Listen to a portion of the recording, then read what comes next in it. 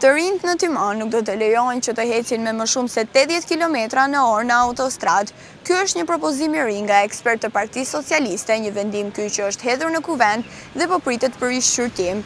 Gjithashtu, ndryshime të tjera do të jenë dhe në Kodin e Qarkullimit Rrugor, ku parashikohet rritja e moshës së shoferëve të kamionëve dhe të autobusëve, si dhe leja e drejtimit nga dhjetë vite të shkojë në pesëmbëdhjetë vite vlefshmëri.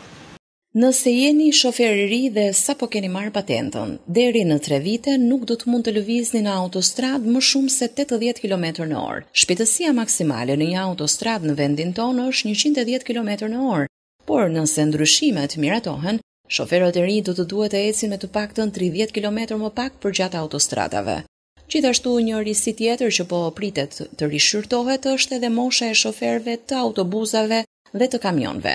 ku mosha e tyre për të drejtuar mjetin të rritet nga 65 vjeç në 70 vjeç. Ky ndryshim bëhet për të përshtatur moshën e pensionit që shkon në proporcion rritjeje.